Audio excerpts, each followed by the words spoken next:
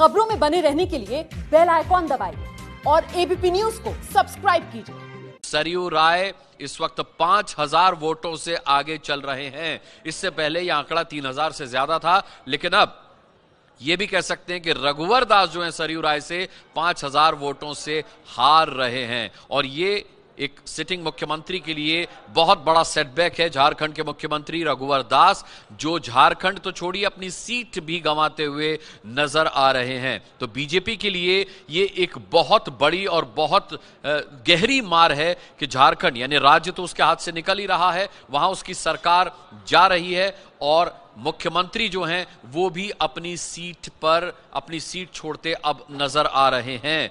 दम्ब घमंड का नतीजा भुगता है सरयू राय ने यह कहा है, भारतीय जनता पार्टी